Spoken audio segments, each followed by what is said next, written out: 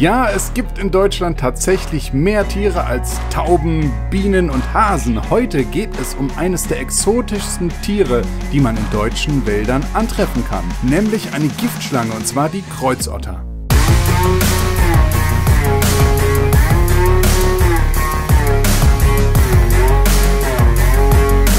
Meine Damen und Herren, einen wunderschönen guten Tag und herzlich willkommen zu einem neuen Video auf diesem Kanal. Diese drei Herren hier, die stürzen sich heute in ein Abenteuer der besonderen Art. Wir sind hier in Deutschland, ungefähr Mitte Deutschland im hessischen Bereich und wir werden heute Giftschlangen suchen. Natrop.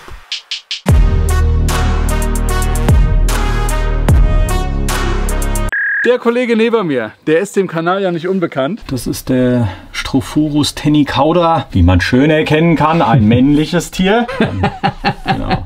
Das ist der Olli, Hallo. unser Terrarien-Experte. Immer gut, dich da zu haben, denn es wird viel um Reptilien gehen. Wir sind äh, in der Wildnis unterwegs und zwar an einem besonderen Ort. Da kommen wir zum nächsten Kollegen. Das ist der Timo. Und der Timo, ja der hat ein Grundstück, das ist schon eine einzigartige Geschichte in Deutschland, würde ich mal sagen. Ja, ich bin im Artenschutz aktiv für die Kreuzritter hier in Osthessen. Die ist also akut vom Aussterben bedroht und in meiner ehrenamtlichen Zeit mache ich sehr viel für die Art und das schauen wir uns heute mal an. Bevor es zu Timos Privatgrundstück ging, sind wir erstmal in einen Waldteil gefahren, in dem Timo verschiedene Plätze für Schlangen geschaffen hat. Ich weiß nicht, wie es euch geht, aber ich habe noch nie in meinem Leben eine lebendige Schlange in Deutschland in freier Wildbahn gesehen. Gefürchtet, muss ich sagen, habe ich mich aber eher vor Zecken.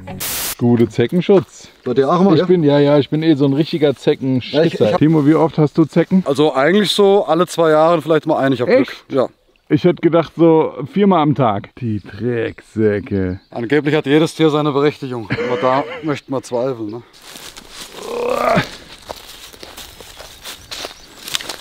So, Stopp Nummer 1 ist jetzt also ein kleiner Tümpel, sagst du. Ja, also die haben hier mal eine Teilrodung gemacht. Das ist ja auch hier für das Lichtraumprofil. Und da haben die so Kleingewässer mit angelegt. Teilrodung heißt quasi, dass einmal Ja, Ernte, ne? Genau. runterkommt, dass sich alle Tiere aufwärmen können. So, was kann man jetzt in so einem Tümpel finden? Kaulquappen von der Erdkröte. Hier ist alles Ah, drin. ja, ja, ja, ja. Und wenn man ein bisschen länger stehen bleibt, sieht man auch die Bergmolche. Die sind eigentlich in jeder Pfütze hier drin. Und die Ringelnatter war letzt da drüben. Also hier hast du schon einige Schlangen auch antreffen können. Eine bis jetzt. Das ist erst zwei Jahre alt und ist jetzt schon Ah, angenommen worden. okay, ne? Also okay. das ist ja auch wichtig. Haben Ringelnatter einen äh, speziellen Wasserbezug immer oder? Also es gibt ja rein aquatische, wie jetzt die ähm, Würfelnatter. Die ist mehr ans Wasser gebunden, weil die halt aktiv auf Fische jagt. Die Ringelnatter auch, mehr Molche, Amphibien und die Larven davon. Aber hat nicht so diesen Bezug, diesen permanenten zum Wasser wie jetzt die Würfelnatter. Kann man auch irgendwo unterm Totholz antreffen. Okay, okay. Genau, auf Wiesen.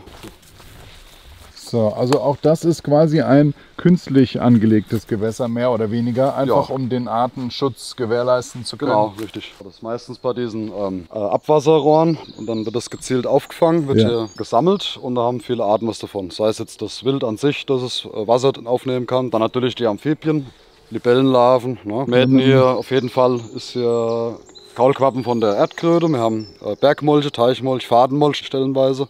Grasfrosch leicht hier ab. Ja, und eine Ringelnatter wird sich auch mal dazu gesellen und Jawohl. ein oder andere Kaulquappe. Und jetzt geht es quasi einmal zu den äh, Kreuzottern. Die haben bestimmte Territorien oder wie kann man sich das bei Ja, denen vorstellen? Das war hier früher kompletter Hochwald, bestand aus äh, Rotfichte. Und 2007 hat hier Kyrill, also der Sturm damals reingefahren. Und da haben wir halt gesagt, vom Artenschutz aus, wir kommen das halten mal offen, wir pflegen das nach, also Sukzessionsstadius runtersetzen. Also das heißt einmal Brombeerhecken entfernen, junger Fuchs wie hier Birke und Fichte entnehmen. Ja. Totholz aufsetzen, ja, äh, Sandsteinhaufen anlegen. Dann natürlich auch Gewässer, weil die mag es ja ein bisschen äh, feuchter vom Klima her. Ja, und dann haben wir hier unten zwei Schneisen auch. Also das sind quasi Schneisen, um einfach Lichtflächen auch Genau, zu ja. erzeugen. Lichtraumprofil, also das ist hier die sogenannte Waldinnenraumgestaltung. Bedeutet, was Ähm, für Tiere haben da einen Ach, Vorteil? viele. Allein die ganze Insektenvielfalt, Dukatenfalter, eine sehr seltene Art, hat hier ein Auskommen mittlerweile. Die ganzen Spechte sind da, äh, Waldameise, ne, äh, braucht Licht. Viele Arten. Ne. Es wird ja immer so debattiert, wir brauchen diesen Urwald, aber dann hat vielleicht die Fledermaus was davon, aber viele Lichtgestalten, sage ich mal, wie jetzt die Kreuzotter, profitiert halt von solchen Waldinnenraumgestaltungen. Ne. Also stufiger Waldrand, Krautschicht, hat man hier kaum mehr. So, wir machen uns jetzt auf die Suche nach den ersten Reptilien. Ich werde euch dafür mal ein Tele auf die Kamera packen und hoffe, dass wir da fündig werden. Das äh, wird jetzt interessant, weil es kann ganz schnell gehen. Also hier haben wir zum Beispiel ein von uns angelegtes künstliches Winterquartier. Das ist ein Aushub von knapp zwei Meter Tiefe. Unten Drainageschicht, dass das Wasser abläuft und oben Sandsteine, Totholz, damit die Frost sicher überwintern können, die Kreuze dann. Oder andere Reptilien noch. Ah ja, okay. Das hier ist jetzt also so eine Matte. Das ist genauer genommen ein ehemaliges Kanzeldach und aufgrund dieser Wellenform kommt unten genug äh, Luft runter, damit es auch nicht zu warm. Und das wird gern angenommen von den Reptilien. Ich habe das auch beschwert. Zum einen, damit mir die Wildschweine dran gehen oder ob hier jemand anders guckt, der hier nicht gucken soll. Ich verstehe. Sehr gut. Ah, wir haben noch mehrere, wenn wir heute jetzt nichts finden. Bei der hier. Nee. Hier ist nichts. Man muss immer genauer gucken, weil oftmals guckt nur so eine Schlinge raus unter dem Altgras und dann übersieht man sie manchmal. Ach, es gibt mehrere Giftschlangen. Ja, es in gibt hier noch, in, äh, aber kaum nennenswert, im Schwarzwald gibt es noch eine kleine Population. Von die, Aspis? die Aspisviper, ja. Die, Ah, die okay. zweite Giftschlange in Deutschland. Aber wie gesagt, kaum nennenswerte Bestände leider. Wird auch viel für getan, um die zu erhalten. Könnte so ein Tier dem. Menschen auch gefährlich werden? Also gerade wenn man jetzt mit kurzen Hosen unterwegs ist und Ja, also ich sag mal, die haut eigentlich bei Störung ab. Dumm wird es dann, wenn man drauf tritt oder so fängt. Aber wenn man sich nicht auskennt, stellt man ja keinen Schlangen nach. Also normal ist da jetzt keine Gefährdung. Man kann es nie ausschließen. okay. Sehr unwahrscheinlich, ja. Aber ist schon eine Giftschlange, die auch in Deutschland wirklich Schmerzen verursachen könnte. Ja, also wir haben jetzt seit dem Zweiten Weltkrieg äh, nur noch, glaube ich, zwei oder drei Todesfälle. Es waren meistens ältere Personen mit Vorerkrankungen. Also ist eigentlich nicht nennenswert. Wenn man es jetzt mit Bienenstiche vergleicht, wo wir mehrere hundert Tote haben, auch aufgrund Allergien. Wir sind hier über die Kreiskrankenhäuser auch gut ausgerüstet mit Sären, weil man darf es sich ja nicht selber geben. Man muss erstmal in Behandlung gehen. Ah, meistens okay. reicht das, wird das ausgestanden ein, zwei Tagen dann. Also anders als in Australien, du hast jetzt keine Gegengiftampullen dabei, falls jetzt auch im Handling was passieren Richtig, sollte, genau. sondern du musst ins Krankenhaus. Ja. Eins, zwei. Da, Blindschleiche. Ja. Ach ja, ach ja. Aber Blindschleiche ist ja keine Schlange, richtig? Richtig. Eine Echse. Auf der Suche nach den besagten Reptilien haben wir unzählige Matten umgelegt und sind ganz leise durch den Wald gelatscht, um die Tiere nicht zu verschrecken. Übrigens, wir stören diese Schlangen heute aus Dokumentationszwecken. Timo macht regelmäßig solche Runden, um die Bestände im Auge zu behalten. Also bitte nicht nachmachen, da die Tiere ansonsten unnötig gestresst werden. Und los. Schlingnatter. Ach was. Ach krass. Coronella austriaca. Heißt deswegen so, weil die so eine Kronenzeichnung am Kopf hat. Wird auch Glattnatter genannt, weil die halt eben keine rauen Schuppen hat im Gegensatz zur Kreuz, oder? Olli, Reptilien können sehr, sehr gut hören. Die nehmen halt jetzt, wenn du hier auftrampelst wie ein Irrer, das nehmen die sofort wahr. Dementsprechend sollte man sich generell im Wald ja nicht wie so ein Trampel verhalten, sondern eher ein bisschen ruhig. Dann haben wir auch die Chance, da mehr oder viel zu finden. Das wäre natürlich toll. Dieses Heidekraut, Erika, das kennt man vielleicht von den Friedhofsgräbern. Das ist hier die Wildart, die natürliche. Die wird gern genutzt von den Reptilien. Als Versteck, als Häutungshilfe. Also ist schön dicht. Da sie Feuchtigkeit und Halt bietet, ja. dass man die Haut quasi Ja. abstreifen kann. Genau. Okay, Richtig. verstehe. Magst du noch mal sagen, was vom Geräusch her eine Schlange ausmacht in der Bewegung, dass man, wenn man irgendwo was rascheln hört, weiß, ob es eine Schlange ist oder nicht? Ja, also wenn ich jetzt eintönig ein Ziehen quasi, so ein Sch da weiß man, okay, es ist eine Schlange oder Blindschleiche. Und wenn jetzt was raschelt, so tapsig, dann kann es eine äh, Eidechse sein, Waldeidechse kommt hier vor, Zauneidechse oder halt wirklich eine Maus. Ne? Das hört man dann am Geräusch.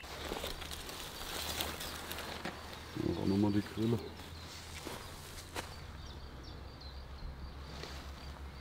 Wie groß ist jetzt dieses Gebiet hier, was du ähm, auch mit, mit Versteckmöglichkeiten ausgelegt hast und wo du quasi einmal die Hand drüber hast, sag Mhm. ich mal? Gut, das ist hier jetzt dieser Hotspot. Das ist in einem Artenschutzverbund hier. Das ist ein zusammenhängendes Biotop und das ist so ein Trittsteinbiotop. Das heißt, hier können die sich dauerhaft niederlassen, sollen sich reproduzieren, vermehren, ein Auskommen haben und dann, wenn sie stark genug sind, können sie wandern. Über die Vernetzung, das ist ganz wichtig, dass wir quasi diese isolierten Teilpopulationen miteinander verbinden, über diese Waldinnenraumgestaltung. Da haben wir immer so abschnittsweise, tun wir wirklich mal alles auf den Stock setzen, dann hat man wieder mal einen Bereich mit mehr Bewuchs. Dass wir diesen verschiedenen Lebensraum quasi anbieten können. Also das sind quasi umgefallene Bäume, die dann einmal Ja. genutzt werden, um nochmal zusätzlich Versteckmöglichkeiten zu schaffen. Sonnenplatz, Winterquartier. Oben haben wir die Sonne vorne drauf, hinten ist wieder schattig, das können Sie sich aussuchen. Was halt unheimlich viel Geld und Ressourcen kostet, ist, wenn jetzt jemand mit dem Greifer kommt, mit dem Kran und hebt das alles weg. Und da lassen wir es einfach kontrolliert auf dem Haufen verrotten. Gerade Totholz erwärmt sich in der Sonne schnell, liegen gern die Reptilien drauf. Für die Thermoregulation heißt, die brauchen ja die Sonne, die UV-Strahlung, ich sag mal, um auf Betriebstemperatur zu kommen für den Laien. Ist halt ganz wichtig. Und wie ich mich nach Zecken absuchen werde. Der Städter im Wald, weißt du, wie ich meine? Achtung, und hoch. Nix. Ah, hier ist eine Blindschleiche. Ja. Ah, ja. Aber wenn ihr guckt, die können auch hier drunter liegen, ne? wo das Altgras, das ist wahrscheinlich von so, so Mäusegänge. Wieder Pech. Und Babykreuzern zu finden, ist noch äh, schwerer. Also wenn wir ein Tier finden, dann sind es auf jeden Fall Waldameisen. Ja, zahlreich. Ja. Was in meinen Augen nicht gerade für die Population spricht, aber wir haben tatsächlich im gesamten Wald keine Kreuzotter gefunden. Somit ging es weiter auf das Privatgrundstück von Timo, welches er zu 100% der Tierwelt gewidmet hat.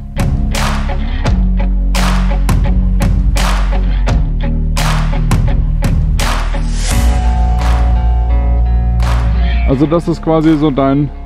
Privates Reich, was du für sämtliche Lebensformen zur Richtig. Verfügung Genau. stellst. Also nicht nur Reptilien, Amphibien. Ich habe hier den Neuntöter, auch den Raubwürger, also der Vogel, der quasi auf Stachelhecken Insekten aufspießt oder kleine Mäuse, so als Vorratskammer. Sämtliche Schmetterlingsarten, die hier vorkommen. Libellen, äh, Eisvogel war schon da. Dann habe ich überall so kleine Gewässer noch angelegt mit so. Ich muss halt leider mit Teichfolie arbeiten, weil ich habe hier sehr sandsteinigen Boden. Sieht mal hier, das habe ich alles mit der Hand gemacht. Ach, wie schön. Der ist halt noch nicht so ökologisch eingespielt mit den Algen. Das kommt aber noch. Du hast jetzt hier viele verschiedene Materialien verbaut. Also Genau. ich sehe Holz, ich sehe kleinere Steine, größere Steine, Ja, ja. diese Folien. Mhm. Das ist quasi für jede Tierart nochmal das Genau. Ideal. Ich habe hier einen Teich äh, ausgehoben. Den Aushub habe ich hier hin, weil wir haben hier eine Schräglage. Da die Folie drüber, das ist mit Sandstein verkleidet. Gehen zum Beispiel die Eidechsen gern drunter. Ringelnatter siedelt sich hier an.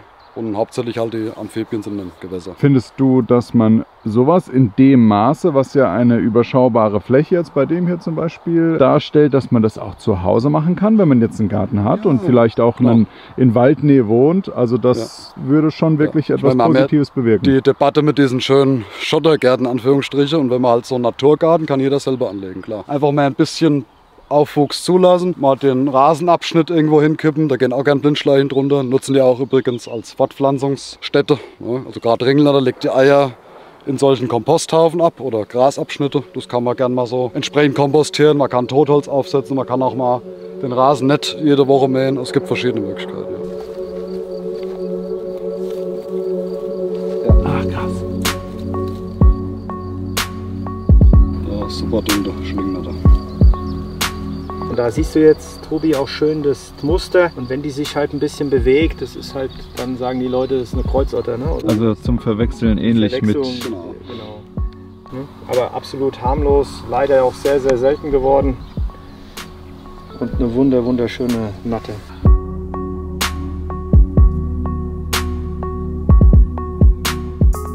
Ein kleinen Snack für zwischendurch. Kannst du auch essen, weil ansonsten Fuchsbandwurm. Ne? Das hier ist quasi dann Wasserreservoir Genau. für die gesamte Anlage, dass du alle Tümpel immer schön versorgen kannst. Richtig, ja. Ich habe hier einen Schlauch, den schließe ich an, dass der dann mal wieder voll wird, wenn es sein muss. Oder halt auch für Bäumchen, die ich immer setze.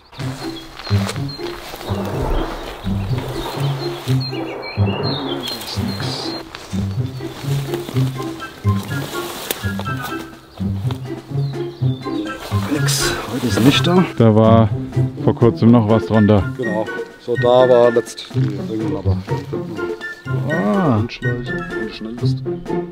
Ja, ihr merkst jetzt auch wieder, dass es hier ein bisschen schattig, ja? Sind sie länger drunter. Ja, komm schnell. Jungtier Schlingnatter. Sehr dunkles Tier und siehst da schön die Krone, die schwarze. Und da kann der Laie natürlich auch schnell mal sagen, es wäre eine Kreuzotter. Ne? Thema Erderwärmung ist ja, wie ich mitbekommen habe, auch hier ein ganz besonderes Thema. Du hast ja, ja einen externen Wassertank da hinten, ja. der dich hier versorgt, weil der Regen reicht anscheinend nicht aus. Ja, also man merkt schon, äh, die Niederschlags armen Jahre wirken sich in demzufolge so aus, dass der Laich gar nicht durchkommt. Also die Reproduktion der Amphibien kann gar nicht mehr gelingen. Da haben wir schon die örtliche Feuerwehr mal geholt. Ich habe selbst mit dem Auto Kanister in die Tümpelchen gekippt, in die Wagenspuren, damit die Amphibien durchkommen. Man merkt das massiv. Die letzten ein, zwei Jahre ging es. Dieses Jahr ist schon wieder schlechter. Aber so in 2015, 16, 17, 18 hat man wirklich massive Dürrejahre und das schlägt sich auf die Population nieder. Du hältst ja die Tiere nicht, sondern du gibst den Tieren einfach eine Möglichkeit, hier bei dir einzuziehen. Ein sagen wir es mal so, genau. Ja. Viele davon sind ja auch geschützt oder stehen auf speziellen Schutzlisten. Ja. Was ist dein Gefühl? Wird hier in Deutschland genügend zum Schutz dieser Tiere getan? Es kann nie genug sein. Ne? Es müsste noch mehr gemacht werden, aber wir sind jetzt schon in Position oder insoweit irgendwo angekommen, wo man sagt, es wird sich schon bemüht. Ne? Natürlich, das Ehrenamt an sich leistet den größten Teil, so wie ich auch ehrenamtlich hauptsächlich fungiert draußen. Insgesamt müssen wir mehr anpacken. Das ist das Motto, nicht mehr suchen, sondern Spaten in die Hand, Motorsäge und halt sowas dann erschaffen. Sagst du, okay, Tierhaltung und Tierschutz sind zwei unterschiedliche Paar Schuhe? Nee, ganz im Gegenteil, weil ähm, das Fachwissen hat man ja äh, durch die private Tierhaltung, also Terroristik. Die Begeisterung kommt daher, man hat die Sachkenntnis der Tiere und es gibt viele Terrarianer, die bekannte Artenschützer sind und man kennt ja auch durch Gefangenhaltung quasi, also private Zucht ist ja viel wieder gerettet worden was draußen nicht mehr da ist. Also es greift ineinander, das ist wichtig, es gehört zusammen. Genau das ist ein spannendes und wichtiges Thema, wie ich finde, denn auf dem Kanal hier beschäftigen wir uns ja immer wieder mit der artgerechten Haltung von Reptilien. Umso interessanter, was Oliver über das Thema heimische Tiere im Terrarium denkt. Weil was wir auch aus den Videos mit dir ja kennen, sind ja eher nicht einheimische Reptilien, die man also so wir haben hält. wir haben die ja da bin ich auch so ein bisschen zwiegespalten ähm, mit diesen heimischen Tieren ich finde es selber faszinierend mega geil mega spannend wir haben das Klimaproblem einfach ne? wer, wer kann zu Hause im Wohnzimmer dieses diese Temperaturschwankungen Feuchtigkeitsschwankungen ähm, nachahmen ohne dass es halt auch schimmelt, ohne dass es dann äh, zu heiß oder wie auch immer. Ne? Man braucht eine gewisse Kältephase. All das brauchen ja unsere einheimischen Reptilien hier. Und das schwer in, in, in der Wohnung nachzuahmen, sehr, sehr schwer. Wenn ich ein größeres Haus habe, wenn ich einen Garten habe, wenn ich einen Kellerraum habe, wenn ich da ausweichen kann, dass ich unterschiedliche Temperaturen, die wirklich sehr, sehr wichtig sind bei der, bei der Haltung, vor allen Dingen auf längere Frist gesehen. Ja, ich, klar, ich kann eine Zauneidechse zu Hause halten, aber ob die dann Jahre da lebt, bezweifle ich ne, in, in dem, im Wohnzimmer. Das geht vielleicht mal ein Jahr gut und dann wird sie verkümmern, weil sie braucht einfach die Winterruhe, sie braucht dieses unterschiedliche Klima, sie braucht auch unterschiedliche Futterarten, aber gut, das ist natürlich bei exotischen Tieren genauso wichtig, aber das ist alles ja nicht so einfach, das zu Hause im Wohnzimmer äh, nachzuahmen. Ja, weder im Wald noch auf dem Grundstück hatten wir das Glück, eine Kreuzotter anzutreffen. Aber wir sind jetzt beim Timo zu Hause. Der hat eine spezielle Genehmigung, denn er darf Giftschlangen wirklich auch nur der Art Kreuzotter zu Hause halten und wird uns jetzt einige Tiere zeigen. Ich bin sehr gespannt. Es ist ja nicht meine erste Giftschlangenerfahrung. It's the biggest venomous snake in the world. Aber von heimischen Arten ist das dann doch schon mal was äh, anderes und spezielleres. Warum hat der Timo diese Genehmigung? Timo darf in Obhut genommene Tiere, zum Beispiel durch Verkehrsunfälle oder durch Naturkatastrophen oder durch Funde irgendwo im Garten oder in Kellerräumen, diese Tiere darf er an sich nehmen und die müssen ja auch irgendwo hin. Und genau da schauen wir jetzt mal rein. Also wir sind jetzt hier hinter deinem Haus. Mhm. Ja, ja, ich habe hier ein Außengehege gebaut. Das ist einmal habe ich ganz schön was an Aushub raus. Da ist eine Regentonne, so die Größe, als Winterquartier eingebaut. Unten mit Löcher. Hab dann Steine, Ton rein, Holz ist dann abgedeckt, also die bleiben das ganze Jahr draußen, überwintern auch dort. Ah, okay. Ja, dann halt mit Glasscheiben verkleidet, das ist so ein Aluminiumaufbau. Bäume reingesetzt, äh, Steine rein. Vorne ist ganz wichtig für die Belüftung dieses Gazé, dieses Gitter. Unten nochmal mit Lochblech, weil da ist die Belüftung das A und O. Sonst haben wir da quasi ein Gewächshaus und die fühlen sich überhaupt nicht wohl. Also muss man, also dieses Temperaturgefälle, keine Stickluft, auch keine Zugluft und das muss halt auch passen. Wenn du hier siehst, keine direkte, permanente Sonneneinstrahlung. Deswegen ist dieser Busch daneben. Den tue ich einmal im Frühjahr dann wieder kürzen. Jetzt äh, ist es ja so, dass das Terrarium vom Platz her wesentlich weniger bietet als zum Beispiel das große Grundstück, wo wir gerade waren. Wie siehst du das? Hat ein solches Tier einen so enormen Bewegungsdrang, dass das Terrarium hier eigentlich nicht ausreicht? Oder gerade Reptilien sind ja eher inaktiver. Ist das artgerecht? Ja, natürlich ist artgerecht. Man kennt es ja aus der Terroristik, sonst könnte man ja gar keine Arten halten, wenn die Basis stimmt, die Ansprüche gewährleistet sind, ne, die Parameter passen, natürliches Futter auch kommt. Ne. Ich tue ab und zu auch mal mit der Gießkanne gießen, dass die, die Grundfeuchte, das ist sehr, sehr wichtig. Dann kann man die sehr wohl halten. Und es, wenn man es jetzt als Terrarium darstellt, ja schon nicht klein. Ne? Also das funktioniert bestens. Wie ernährt sich so ein Tier? Also eine Giftschlange nutzt natürlich das Gift auch bei der Jagd. Mhm. Wie kann man sich das in etwa vorstellen? Ja, also da kommen wir auf die Bezahnung. Äh, Ich will jetzt noch sehr ins Detail gehen. Das sind ja aufklappbare Röhrenzähne. Da wird das Gift injiziert. Das ist wie eine Spritzenkanüle. Das ist ein Hämotoxin, geht auf die Blutgerinnung. So, und das Hämotoxin zerstört die Blutkörperchen. Die kriegen dann einen Herzanfall. Kreislaufversagen, die Atmung setzt aus. Anhand der Duftspur verfolgen sie das gebissene Tier, oder Maus in dem Fall, und fressen es mit dem Kopf voran auf. Und das Gift dient auch der Vorverdauung, sind Enzyme, Eiweißmoleküle, wo das Beutetier schon zersetzt. Ne? Es hat mehrere Faktoren. Also das Gift ist quasi wichtig. Damit gehen sie auch sehr sparsam um. Sie können nicht so viel produzieren. Und deswegen ist es auch nicht so gefährlich im Vergleich jetzt hochgefasst jetzt eine Klapperschlange, weil es eben die Giftmenge nicht hat. Gesetzte Fall draußen gebissen zu werden, ist fast wie ein Lottogewinn. Wenn man ihn nicht nachstellt, so nicht irgendwie fängt oder drauf tritt, passiert eigentlich nichts. Da liegen sie jetzt so, ne? Und draußen suchst du dir den Wolf. Ja. Guck mal, wie wir aussehen, wie so eine Boyband. Ich hoffe, ihr konntet was aus dem Video mitnehmen. Vielen, vielen Dank fürs Dranbleiben. Vielen Dank an Oliver äh, für mich mitnehmen, denn sonst wäre der Kontakt zu Timo natürlich auch nicht zustande gekommen. Timo, vielen, vielen Dank Bitte, für die bitte. Tour. Als, als Schlusswort, was könnte man äh, den Leuten noch mitgeben, um quasi einmal dieses Video nochmal Revue passieren zu lassen? Das soll ja euch auch immer zum Nachdenken anregen, denn ich möchte gerne mehr Inhalte aus diesem Bereich bringen, aus unserer heimischen Natur, die direkt vor der Haustür ist. Denn ich denke, ein Großteil der Leute, die hier zugeschaut haben, die wussten auch nicht, was hier so kreucht und fleucht in den heimischen Wäldern. Was wären deine letzten Worte einmal? Kurz und knapp, es lohnt sich was zu tun. Auf alle Fälle. Da sind wir d'accord. Also, Kanal abonnieren, Video liken und wir sehen uns nächste Woche wieder. Vielen, vielen Dank für den Support und bis dann.